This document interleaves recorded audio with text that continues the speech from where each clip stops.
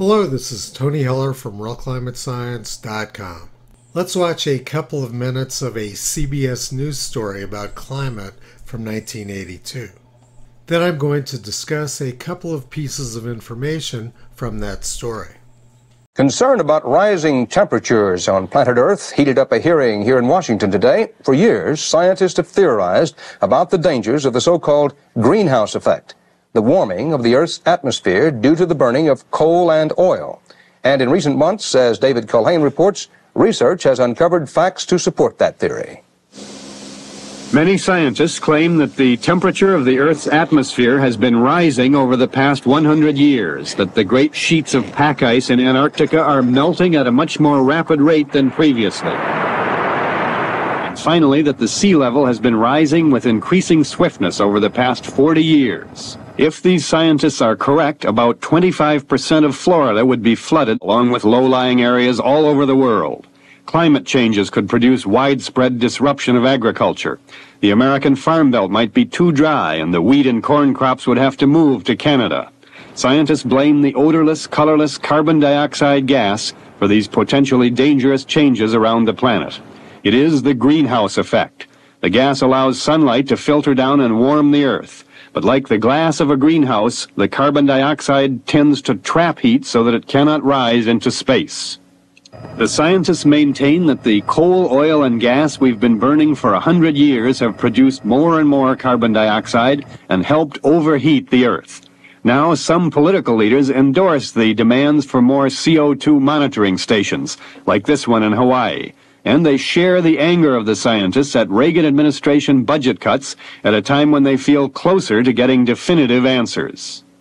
We are not doing the kind of research that we should be doing to determine whether or not these scientists who are so alarmed are correct in their assessment. And what they find out will affect the lives and fortunes of millions of people, the very survival of cities like this one.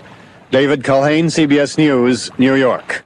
Now let's focus on a couple of items from this clip. Finally, that the sea level has been rising with increasing swiftness over the past 40 years. If these scientists are correct, about 25% of Florida would be flooded, along with low-lying areas all over the world. He said sea level's been rising with increasing swiftness over the past 40 years. But if we look at NASA's current sea level graph, they show sea level rising very slowly in the decades prior to 1982. NASA shows sea level rising very quickly from 1935 to 1950. Then they show a sharp drop in the rate of sea level rise from 1950 to 1995. And after 1995, they once again show a rapid increase in the rate of sea level rise. Now let's compare this once again to what CBS News said in 1982. Finally, that the sea level has been rising with increasing swiftness over the past 40 years. That is directly contradictory to what the current NASA graph shows. This contradiction makes no sense. Apparently, climate scientists can't tell the difference between accelerating sea level rise and decelerating sea level rise.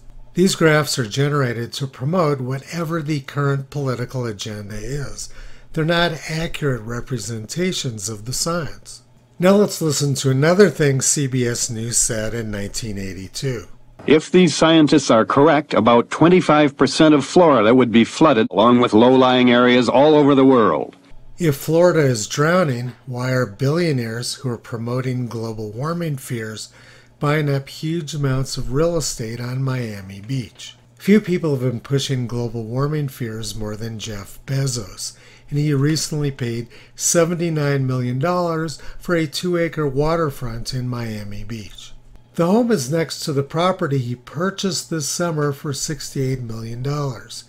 Together, they total 4.6 contiguous acres of land acquired for almost $150 million.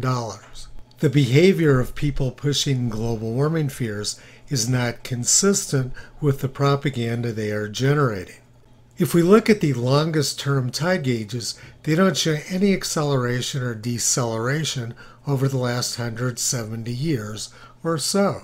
NASA's graph is fake and doesn't seem to be based on any actual tide gauge data. Toto has been pulling back the curtain on the global warming scam for more than 16 years. You can visit him and his family on the web at realclimatescience.com.